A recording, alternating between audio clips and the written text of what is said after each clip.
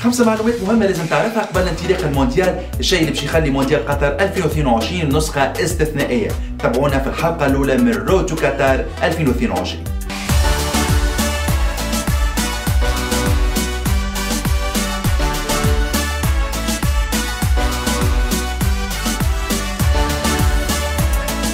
مونديال قطر 2022 الأكيد باش يدخل التاريخ. وممكن برشا الرقم هذايا باش يصعب تحطيمه على خاطره باش يتنظم في أصغر دولة مستضيفة في تاريخ الدورات الكل. قطر الدولة العربية الشقيقة مساحتها ما تتجاوزش 11571 كيلومتر مربع. باش تفهموا صغر مساحة قطر فإنه ولاية كيما تطاوين بمساحتها اللي تتجاوز 39 ألف كيلومتر تمثل ضعف قطر ثلاثة مرات. لكن صغر مساحة قطر باش يمثل نقطة قوة هامة للجماهير اللي باش تنجم تتنقل كل ملاعب المونديال في وقت قصير باش تنجم تتمكن من متابعة جميع المباريات بكل سهولة وأقل كلفة ممكنة. مع أكثر من مليون مشجع باش يتنقل لقطر اللي ينضافوا لهم زوز ملايين و800 ألف مقيم في الدولة القطرية خليكم تتخيلوا الأجواء اللي باش تكون كبيرة في الدوحة. مونديال قطر 2022 باش يكون على غير عادته في فصل الخريف باش يبدأ تحديدا من 20 نوفمبر 18 ديسمبر وهو وقت مش مستانسين به الجماهير اللي يتبعوا كأس العالم.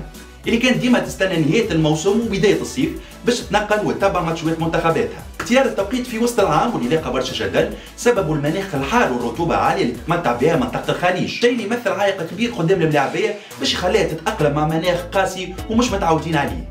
انطلاق الدورة في نوفمبر باش تكون حاجة إيجابية بحكم اعتدال درجات الحرارة والرطوبة في الوقت هذاك مع خاصية التكييف اللي باش تكون موجودة في كل الملاعب من المنتظر باش نراو مستويات كبيرة ومباريات فرجويه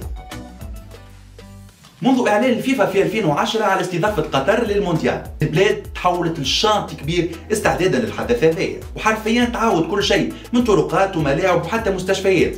وحتى من ملاعب المونديال حضرت الكل قبل بعام وشملت بناء سبعة ملاعب جديدة مع إعادة تهيئة ملعب استاد خليفة الدولي باش يوليوا ثمانية ملاعب كلهم جاهزين على أعلى مستوى.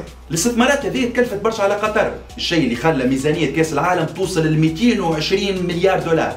وهو مبلغ قياسي ما وصلته حتى تظاهرة رياضية على الإطلاق. وعلى سبيل المقارنة دورة روسيا في 2018 كلفت إلا 11.5 مليار دولار قبلها البرازيل ب 15 مليار دولار. السلطات القطرية تقول المبالغ هذه فيها نسبة كبيرة للبنية التحتية للنقل وللطرقات اللي باش تقعد بعد المونديال واللي باش تساعد في تطوير الدولة. زيد عليه أنه المداخيل المنتظرة من قدوم المشجعين لمتابعة مباريات مونديال قطر 2022 باش توصل ل 20 مليار دولار. وباش يزيد يقوي الدولة القطرية كوجهة للسياحة الرياضية حول العالم. نسخة 2022 باش تكون الأخرى بنظام 8 مجموعات ومشاركة 32 منتخب. بعد قرر الفيفا بإضافة 16 منتخب باش يولي عدد المشاركين 48 منتخب بداية من دورة 2026 اللي باش تلعب في أمريكا والمكسيك وكندا. وللمعلومة فإنه الفيفا درست سيناريو 48 منتخب باش يكون حاضر في مونديال قطر 2022 إلا أنه بعض الإشكاليات ظهرت كيف بعد المسافات وربما حتى التوتر السياسي في المنطقة خلى الفيفا تعدل على الفكرة هذه وتأجلها المونديال 2026 باش نودعوا ال format الحالية مع مونديال قطر للأبد؟ وبداية من 2026 أكيد باش نراو برشا منتخبات جديدة بتشارك حلم المونديال لأول مرة في التاريخ.